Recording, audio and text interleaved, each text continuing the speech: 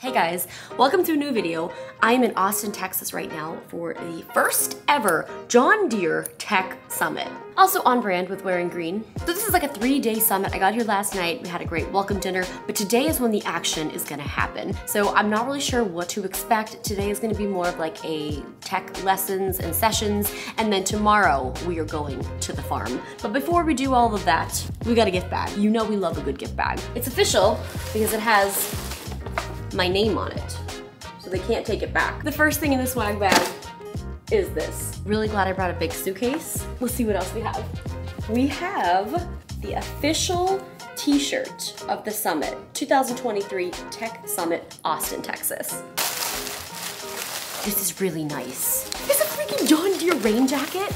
Um, even if it's not raining, I'm gonna be wearing it. We have a 310 SL backhoe loader. As much as I think I know about tractors, I actually don't know anything about tractors except for um, that I'm eager to learn and it's gonna be a great time. And now I've got some really great toys. These are collectors, these are not toys. This says this is the Prestige collection. All right, let's go see what the summit has in store for us. All right, so we are now inside where the summit is gonna be taking place. This is also where breakfast was, so it was very convenient. Let's do this. Tech Summit, so you're all making history in our inaugural event. Woo! Um, yeah, yeah.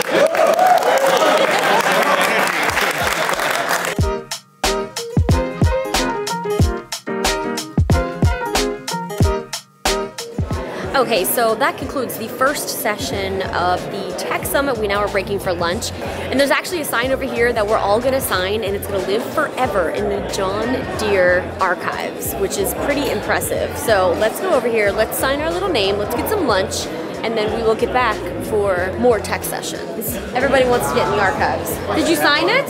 I sure did. Right? Signed it and I printed. Put a date because like we don't know what autonomy is. True. But 106 years from now, they're gonna they're gonna look back. Oh wow, they didn't know what autonomy. But yeah, put a date. Oh, I drew.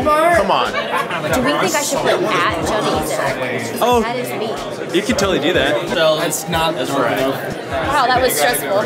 Nice show. Thank you. All right, guys, it is day two here of the John Deere Summit, and today we are going on the farm. But I want to show you the fit. Okay, we have a flannel. I was gonna wear jeans, and then I realized it's like 80 some degrees, and that's way too hot. So we're rocking the Lululemon, the flannel, and the Tims. You guys ready for the farm? Because I'm not. I actually am gonna go get breakfast and then we're going to the farm. Let's go. All right, guys, so today is the day that we are out here on the farm and we are gonna be kind of seeing all of the action of the things that we learned yesterday in the Tech Summit. Yesterday, the Tech Summit was basically all about, you know, education and kind of teaching us the lay of the land. But today, boots on the ground, we've got a hat. We were greeted with this amazing John Deere hat and we are gonna see some of these tractors in action. Oops, everybody has left me. All right, we are officially in the field getting down and dirty. What are you guys expecting to, to get out of today? A lot of horsepower. Oh, okay, a lot of horsepower. See and spray, you know? See and spray. Do you think this is the See and spray? Okay, this is, this is a bumpy off-road experience. Good thing I got my boots on. So yeah, we're gonna we're gonna really just. I don't really Have know. fun, right? Nothing rides like a Deere, you know? Let's I think it's nothing runs like a Deere, but it also nothing rides like a Deere. John Deere. Anyway, there's some big equipment up here, so let's go see. So what's really cool about this space is that it's relatively new. John Deere acquired this land and they use it as their testing facilities.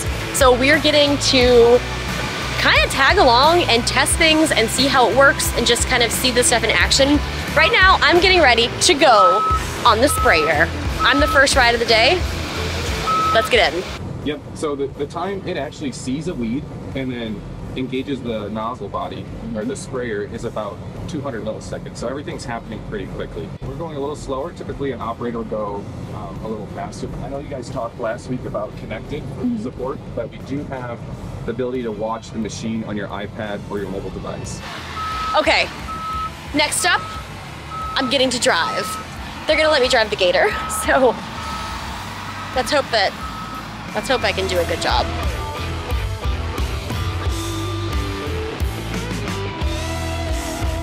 All right, David, don't let us down.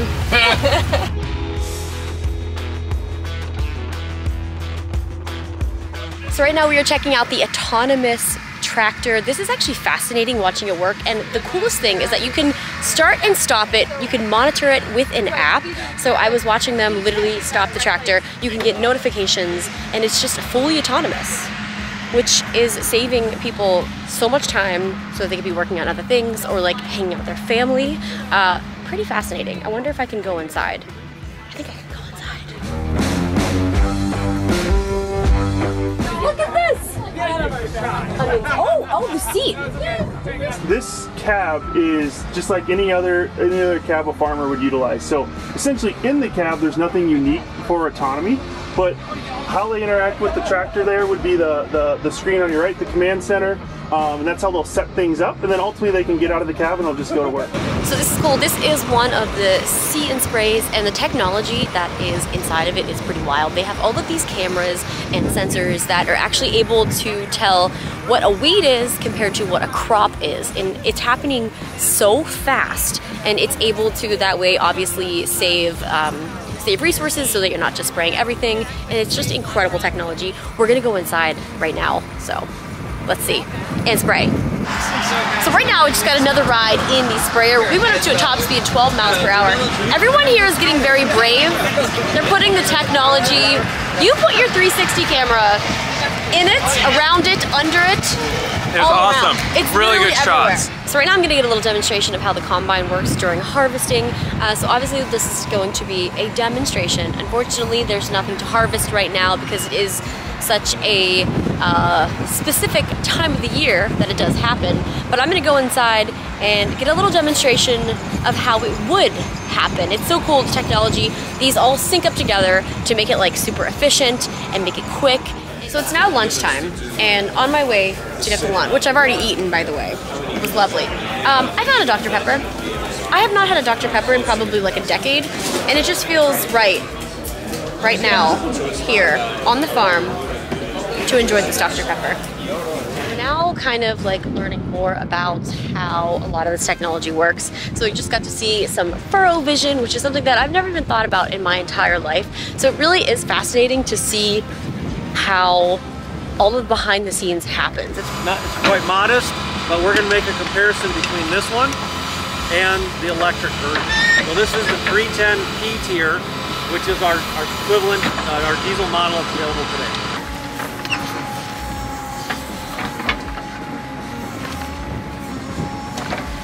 So right now we're actually checking out an electric backhoe, which they were saying all the things and answering all the questions related to, you know, what the consumers are normally asking, like, okay, what about the battery? What's the charge life? So basically this can get you a day of work with like 8 to 12 hours and they have portable chargers, but it also works with normal chargers. Like you can roll up to a charging station off the highway and charge your backhoe, which now I'm kind of curious of how I can do a little experiment and take one of these to a normal charging station, roll up next to some Teslas, and be like, yo, just charging my backhoe.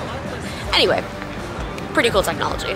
So that wraps up our time at the farm. We're going back to the hotel and we will discuss everything that just happened.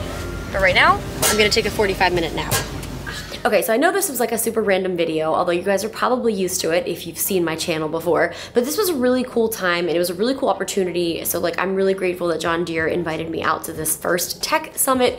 It was definitely very inspiring and eye-opening. You know, agriculture is something that we all need to survive. The one thing that I really took away was that when it comes to agriculture and harvesting, you only have like a very short amount of time to do it right. And if you don't do it right, you can literally lose everything and you can jeopardize everything for that year. They made an example, they were like, what if you only had one year to make one video that your life depended on? And I was like, well, we'd be in trouble. Farmers are so amazing what they do. They are some of the hardest working people and I was just really grateful that I kind of got to go behind the scenes and see all the tech and see how things are done. But anyway, thank you to John Deere for inviting me. Thank you guys for watching. If you like this video, I have a few more vlogs that I've recently posted, so be sure to check that out and I'll see you again. Well, I'm gonna see you soon because you're gonna go watch another vlog.